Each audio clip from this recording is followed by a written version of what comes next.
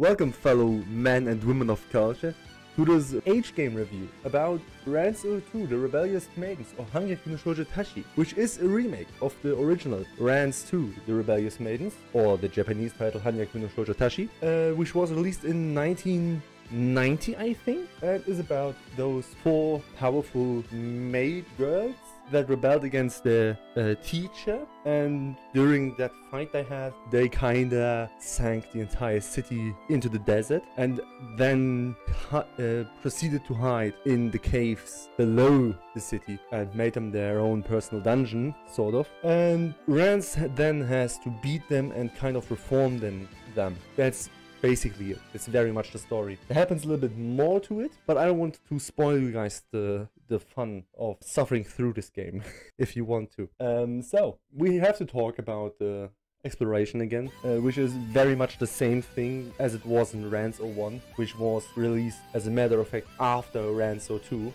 So there's that. You have the options again of looking at something or someone, taking something, talking to someone, using something. Uh, usually I guess that's healing items and assault or leave. Uh, those are very much the same options you had in Rance 01 and they do exactly the same thing. Uh, the problem is this game has even weirder progress progression flags than Rance 01. So if you play this game, I implore you, use a guide. I would hate to play through this game without a guide. So, um, we have the combat talk about and that has changed quite a lot. So first off, Rance, unlike in Rance 01, now has party members, which you cannot really...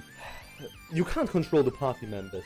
They do their own thing if they do something. It, it's more like a Persona 3 kind of deal, where you have party members, but you can't really use them. Also, they are not allowed to die. If their party members die, that's the game over. So, really, you have to keep them alive, which is a pain in the ass sometimes, but quite doable because we have now the option of using healing items while in combat. In general, combat is very much the same as it was uh, in any other JRPG, meaning you have the option to attack with your weapon, just normally, using a special move, which I believe is only one uh, in the entire game, which is Rance's Rance attack, and then you have basically the option of bad mouthing, which I think never does something except for a few couple of times in the game where some enemies and I believe some bosses are the only things you can badmouth or trash talk if you want to. Uh, and it has an actual effect on them. It's very weird,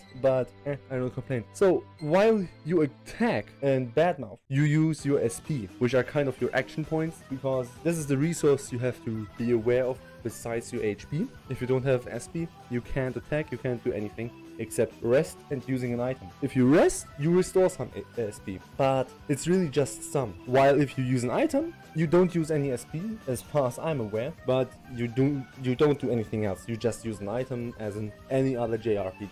You also have the option of running away, which I believe I did not mention in the last review because it's not really an option in the last game. Anyways, and you have then we have the dungeon crawl. And oh boy, dungeon crawling changed a lot. You now have kind of a map, a field map of the dungeon which, which you navigate on. And this is, the map is separated in tile. So you use a tile, you move a tile, and that's one turn, so to speak. I have no idea how to explain this uh, to you guys better than that. You move in four directions, north, we, uh, west, east, or south, uh, and that's how you navigate through the dungeon, how you move a tile. Then there's finding an enemy, camping, and I think looking for something or checking your surroundings. Basically, looking if there is an item on the floor or if there is an NPC around the corner um, is what the third option is. Camping is a option you have to use quite a bit because first of all this is where you save your game second of all this is where you kind of keep track of your stats which the game actually has this time around and also where you level up unlike in Rance 1 you don't have to visit the shop you just have to go to your camp and pray to somehow I must have missed something because if I remember correctly Willis Fujisaki uh, was not a deity but just a shop owner but now she's some kind of deity, I guess. It's it's it's kind of weird. Uh, there is one thing though. The more you level up, the less clothes she wears. She's wearing. So maybe maybe you want to level up a lot. And while speaking of that, I recommend you guys the same thing I did in the last game, grinding your ass off. Thanks thanks to the finding enemy button, it's easy as hell to grind yourself up and you will need it because there is an event uh, near the end of the first chapter which separates Rance and uh, Sil. I think that's how you call how you call her, how you pronounce it, Sil. And yeah, if you don't, you you might have to suffer through the third chapter and later parts of the game. So we talked about the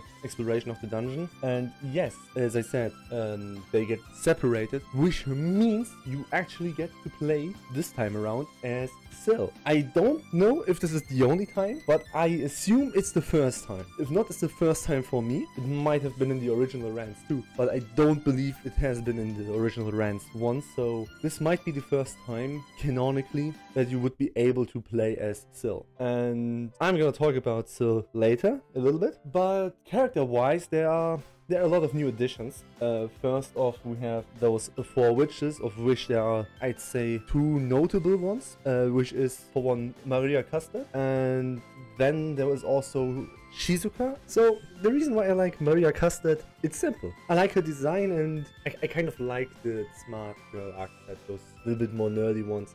I like them. They are no, not you. Quite enjoyable. But Shizuka Masou is something else entirely. I have no idea why I like her um, as much as I do. It is really hard to say because I usually I'm not a tsundere fan, and while I don't think Shizuka Masou could be considered a tsundere, uh, she has the same cold and bitchy attitude uh, that you would usually expect from a tsundere. And even then, I I don't know. I just can't really put my finger on it why this character speaks to me so much. It might be because the character basically initiated the entire plot of this game and just ran with it. But I have I, I can't put my finger on it. As much as I would like to, I just can't. So I won't even try and maybe in future games and future reviews my opinion changes. If so, I will I will mention it, but for now I have no idea and I just can't figure it out. I seriously can't there has been this weird tangent the game goes on, in which you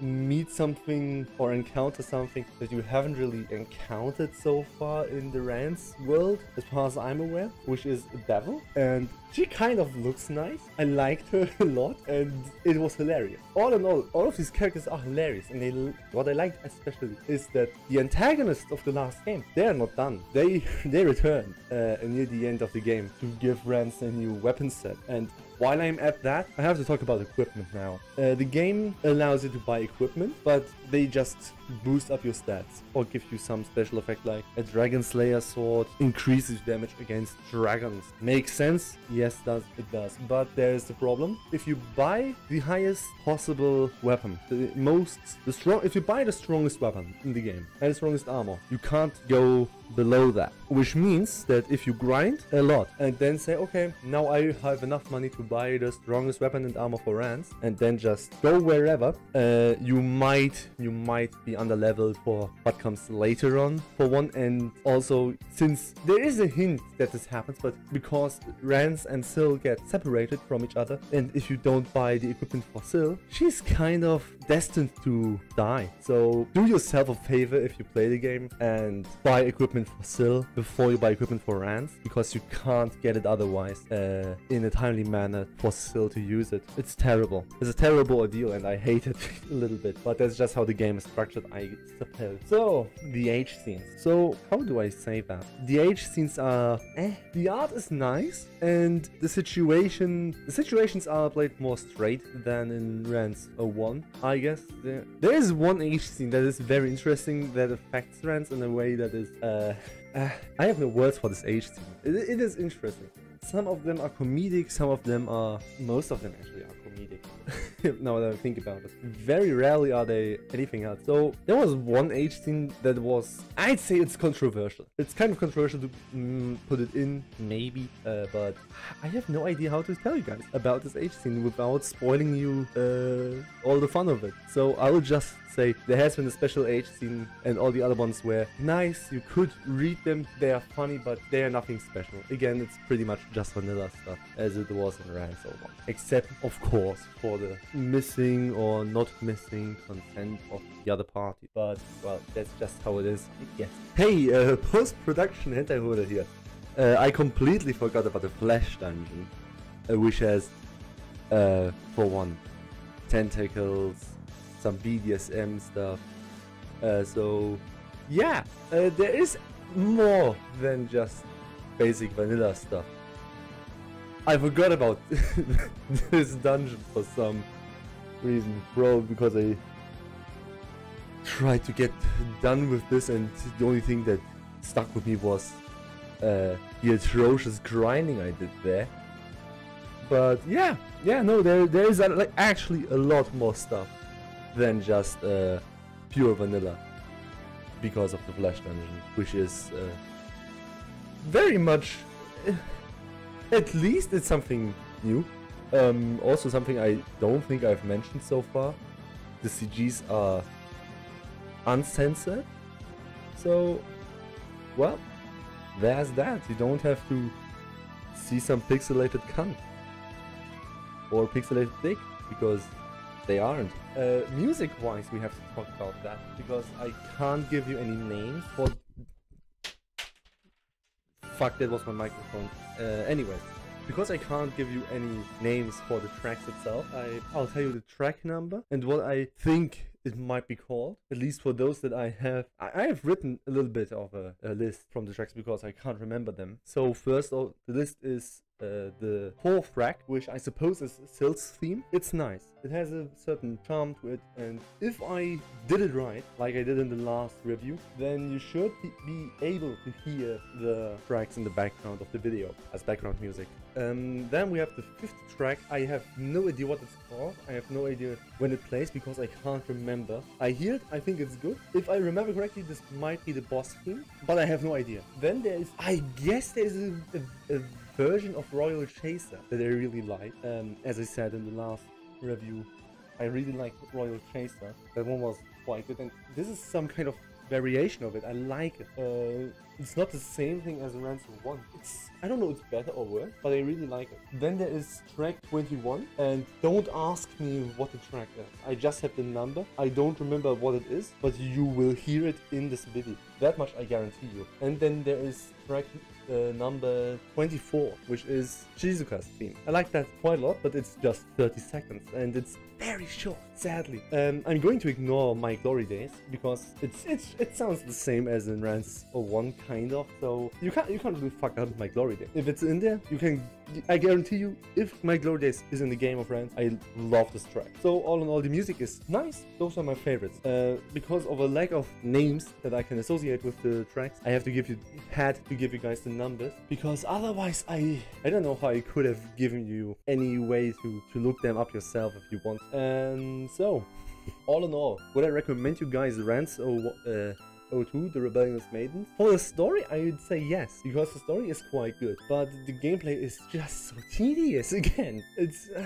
I don't know. Gameplay wise, there is nothing special to the game. Unlike in Rance 01 where I could could give the guy, uh, you guys a recommendation on playing the game if you want to experience experience something very interesting and new. Yeah, but since this is just a JRPG with not even a good system, I, I, say pass on it. If you somehow find a way to watch the let's play of it, you might want to do that. Otherwise, I mean, it's in the bundle of Rance 01. If you buy Rance 01, you will probably have Rance 02 as well.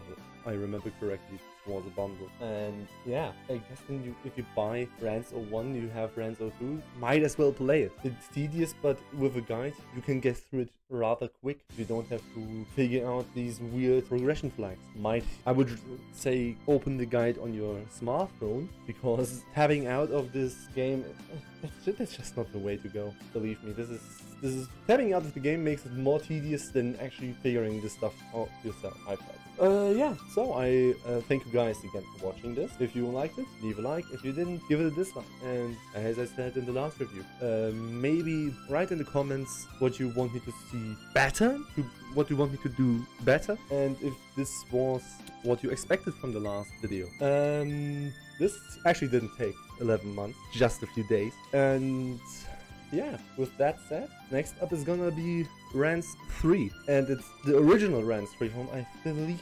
1980, uh, 1991. It might be right, I believe so at least. And I think this game is gonna be fun. In fact, I know this game is gonna be fun because I have already started playing the game. So, as I said, thank you guys for watching and do all the others. And yeah, I'll see you guys next time.